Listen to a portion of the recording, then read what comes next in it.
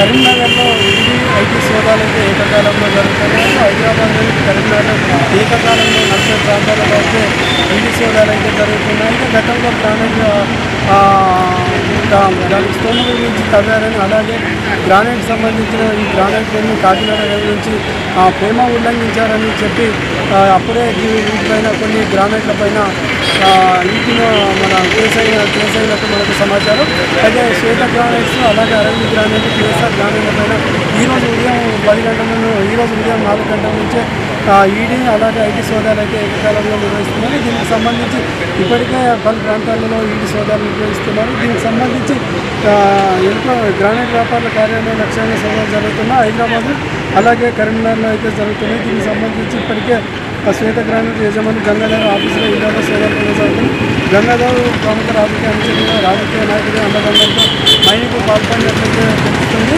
అయితే వీటితో పాటు గంగుల వెంకన్న అలాగే సుధాకర్ బోనర్ లాయర్స్తో కూడా అధికారులు సోదాలు చేస్తున్నారు. ఇప్పటికే ఈ మైనింగ్ అక్రమాలకు సిబిఐ కేసు అమలు చేయడం తాజా ఈడీ కేసు అమలు చేసి చేసినట్లయితే తెలుస్తుంది. కరీంనగర్లో జరిగిన అక్రమ మైనింగ్ గతంలో కేంద్ర మంత్రి నిర్మలా సీతారామన్ చౌదరికి బండి సంజయ్ అయితే దీనిపైన ఫిర్యాదు చేసినట్టయితే మనకు తెలుస్తుంది.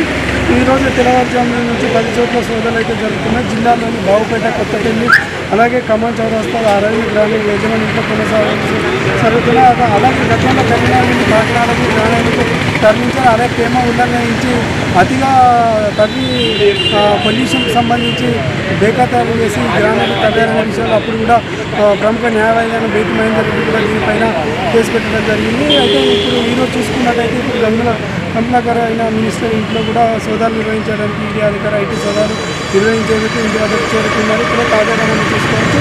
చేరుకున్న ఇంట్లో ఎవరు లేని సమయంలో ఈడీలు ఈడీ ఐటీ అధికారుల సమక్షంలో తాళాలు పట్టుకోటి లోపలికి వెళ్ళిన విజువల్ అయితే ఇంతకుముందు మనం చూసుకున్నాము.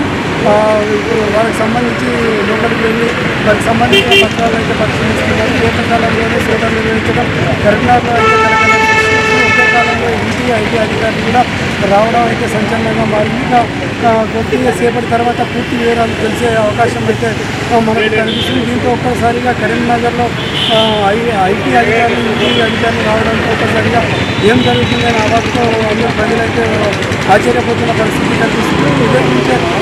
ఇదే నుంచే కనిపిస్తుంది ఒక్కొక్క ఐటీ ఒక్కొక్క గ్రానైట్ కంపెనీకి దాదాపుగా పది మంది ఈడీ అండ్ ఐటీ వాళ్ళు వచ్చి ఆ, వాళ్ళ ఇళ్ళగా సోదాలు అయితే నిర్వహిస్తున్నట్లయితే మనకు పూర్తి సమాచారం ఆ చెప్పిన తర్వాత మనకు పూర్తి సమాచారం ఉండే అవకాశం కనిపిస్తుంది